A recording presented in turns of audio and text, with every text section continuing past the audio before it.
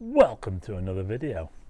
I am the Starman and I am here in the lockdown garden and um, it's not really the lockdown garden anymore. Officially we have now been set free. Uh, well maybe not quite, uh, there are still lots of restrictions um, in place, rule of six, all that sort of thing, but we're allowed to go out again. Anyway, I've got a treat for you in this video. I've got a telescope to show you. And here it is. Doesn't really look like a telescope, does it?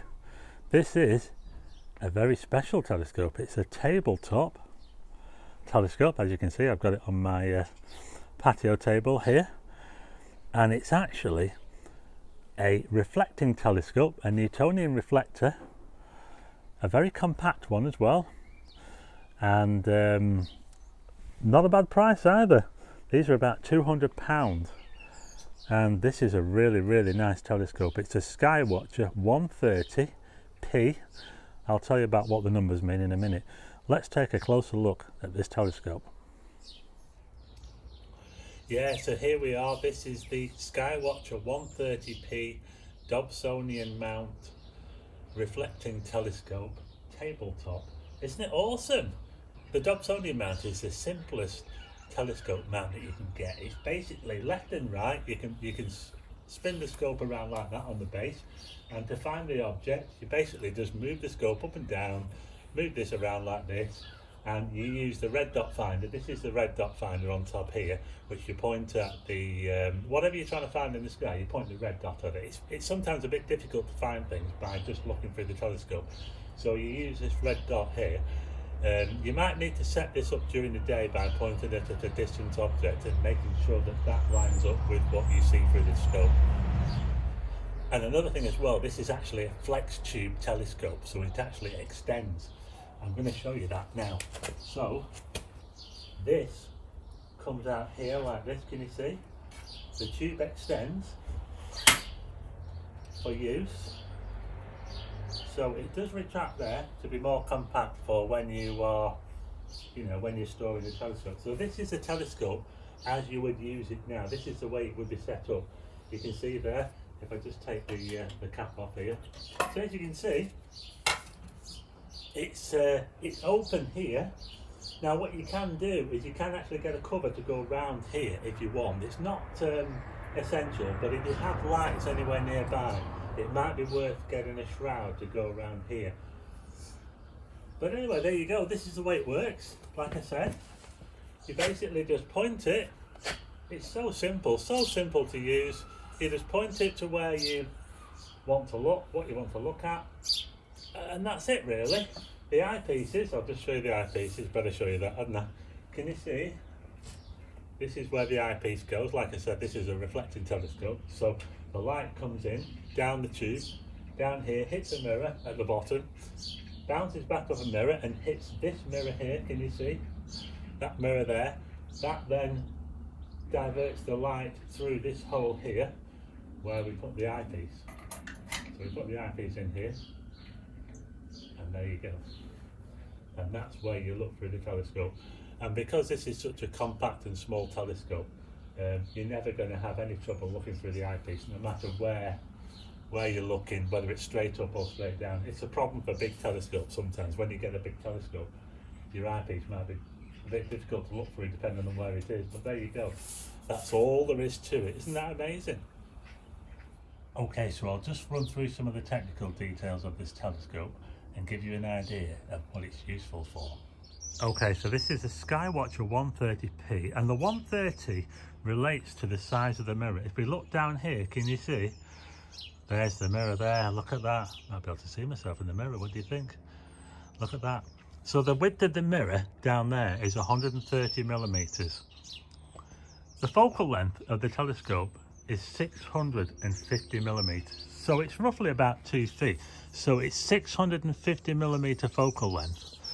And that means that the aperture of this telescope is f5, which is actually pretty fast for a telescope. It's a lot faster than the refractor that you might have seen in some of my earlier videos, which was f6.8.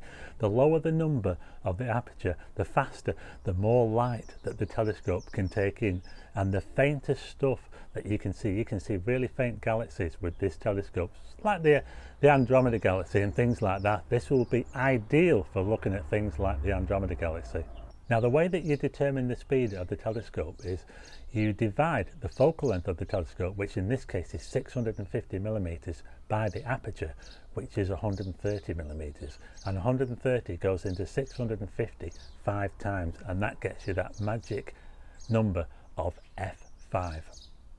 And here's something else interesting as well. I've just put a 15 millimeter eyepiece on here. Now, as I said, the scope's focal length is 650 millimeters.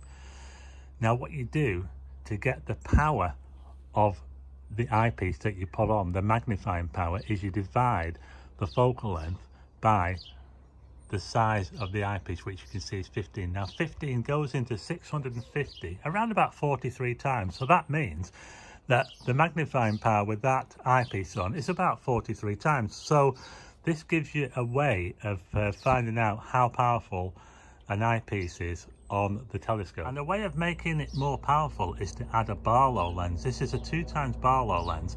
Now I can put this Barlow lens into that slot there and then put this eyepiece into the Barlow lens and that will give us around about 86 times magnification. But at the same time, we have to be careful because um, it might struggle a little bit. It depends on, on the telescope you use. And I think in this case, I think this could quite easily handle the Barlow lens and the 15 millimeter lens uh, because it's a fairly fast telescope you see. But you do have to be careful sometimes when you use these. The amount of light that comes out of the eyepiece is reduced quite significantly. But uh, yeah the Barlow lens can be very very useful for getting more magnification.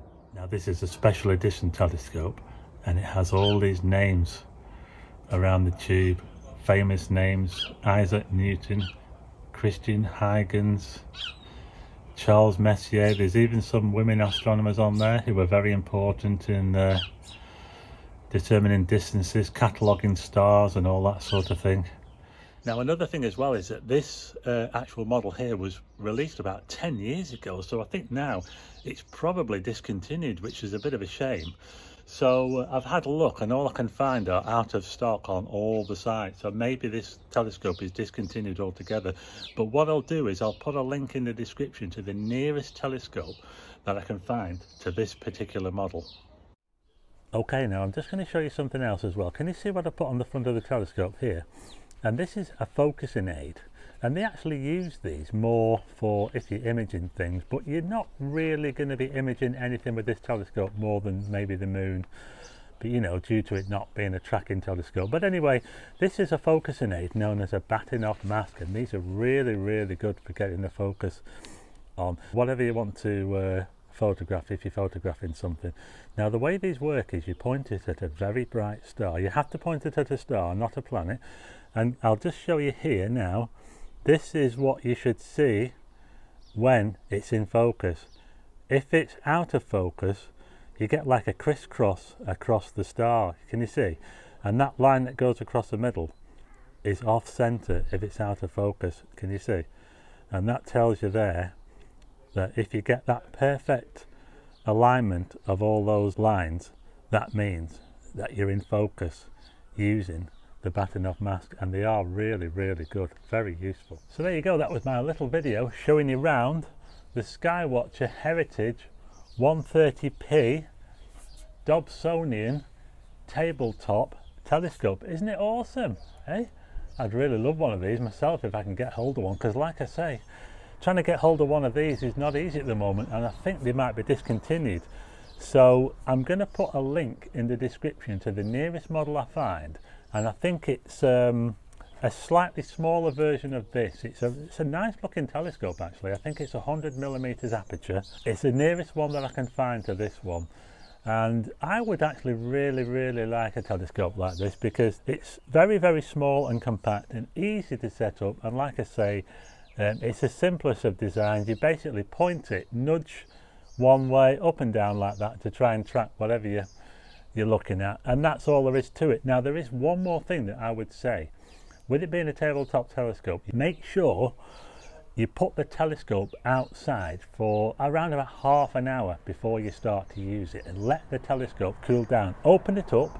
If it's got this flexure tube design, open it up and let it cool down outside before you start to use it. Otherwise, you're going to get quite a lot of heat inside the telescope, which is built up in, in your house, and all that will escape and it'll make a mess of whatever you're looking at. You'll get a lot of that um, shimmering effect. So there you go. I'd like to do a more in-depth review on this telescope and maybe try and use it on something, but I'm to have to hand it back soon. But anyway, hopefully I might be able to get hold of one of these myself. I'll certainly see if I can try and get hold of one myself because I really, really like it. Anyway, I hope I've given you a good idea of a, a nice beginner telescope. Anyway, if you can get hold of one, um, the, I think all telescopes are very difficult to get hold of at the moment. Uh, anyway, if you like the video, hit the like button and also hit subscribe and tick the bell for notifications of new videos and I will see you again next time.